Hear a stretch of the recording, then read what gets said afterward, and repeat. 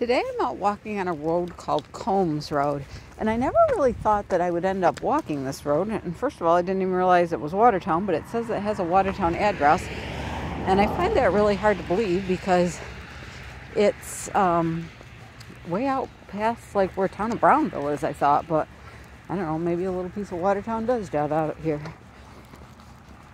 Anyway, they're doing a Maple Weekend, which is what they do a few times a year once the maple syrup starts running.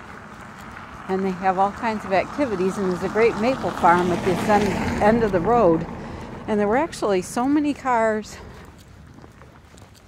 that when I came, I ended up parking halfway down the road. So then when I came back to get the car, I thought, well, I might as well do the rest of it since I'm out here.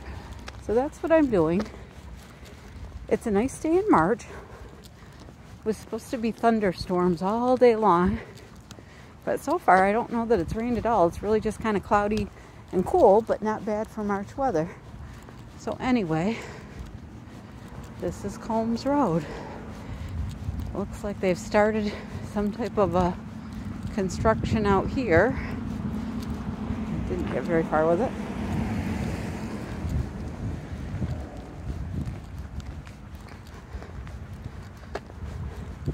And I think that goes with the property across the way onto Combs Road.